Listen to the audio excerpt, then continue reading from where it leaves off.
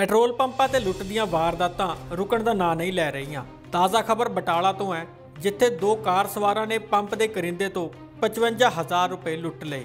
ਇਹਨਾਂ ਕਾਰ ਸਵਾਰਾਂ ਨੇ ਪਹਿਲਾਂ ਕਾਰ ਦੀ ਟੈਂਕੀ ਫੁੱਲ ਕਰਵਾਈ ਅਤੇ ਪੈਸੇ ਲੈਣ ਲੱਗੇ ਕਰਿੰਦੇ ਤੋਂ ਪਿਸਤੌਲ ਦੀ ਨੋਕ ਤੇ 55000 ਰੁਪਏ ਲੁੱਟ ਲਏ ਮੈਂ ਉਹਨਾਂ ਨੂੰ ਕਿਹਾ ਕਿ ਪੈਸੇ 1400 ਰੁਪਏ ਹੋ ਗਿਆ ਤਾਂ ਉਹ ਮੈਨੂੰ ਪਕੜ ਕੇ ਕਹਿੰਦੇ ਰਿਵੋਲਵਰ ਦੱਸਤਾ ਕਹਿੰਦੇ ਜੋ ਵੀ ਹੈਗਾ ਤਾਂ ਪੈਸੇ ਦੇ ਦੇ ਮੈਂ ਡਰ ਕੇ ਮਾਰੇ ਪੈਸੇ ਦੇ ਤੇ 55000 ਰੁਪਏ ਲੈ ਗਏ ਇਹਨੂੰ ਓਵਰ ਪਾਵਰ ਕਰਕੇ ਤੇ ਨਾਲ ਇਹਦੇ ਸੀਨੇ ਤੇ ਪਿਸਤੌਲ ਲਾਤੀ ਉਹਨੇ ਵੀ ਜੇ ਤੂੰ ਰੌਲਾ ਪਾਇਆ ਜਾਂ ਕੋਈ ਗੱਲਬਾਤ ਕੀਤੀ ਤਿੰਨ ਪੰਜ ਕੀਤਾ ਇਹਨੂੰ ਕਹਿੰਦਾ ਕਿ ਮੈਂ ਗੋਲੀ ਚਲਾ ਦਾਂਗਾ ਤੇਰੇ ਕੋਲ ਜੋ ਕੈਸ਼ ਹੈਗਾ ਤੂੰ ਜੋ ਸੇਲ ਆ ਸਾਰੀ ਕੱਢ ਕੇ ਤੇ ਆਪਣੀ ਮੈਨੂੰ ਸੁੱਟ ਦੇ ਅੰਦਰ ਮੈਂ ਮਤਲਬ ਹੱਥ 'ਚ ਨਹੀਂ ਪੜਾਈ ਵੀ ਅੰਦਰ ਸੁੱਟ ਅੰਦਰ ਉਹਨੇ ਮੁੰਡੇ ਨੇ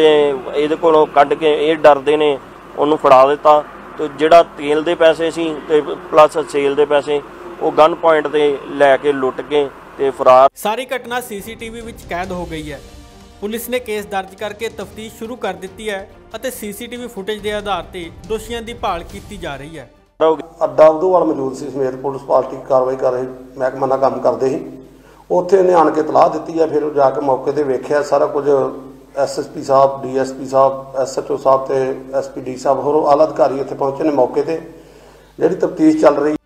ਬਿਊਰੋ ਰਿਪੋਰਟ ਸਪੋਕਸਮੈਨ ਟੀਵੀ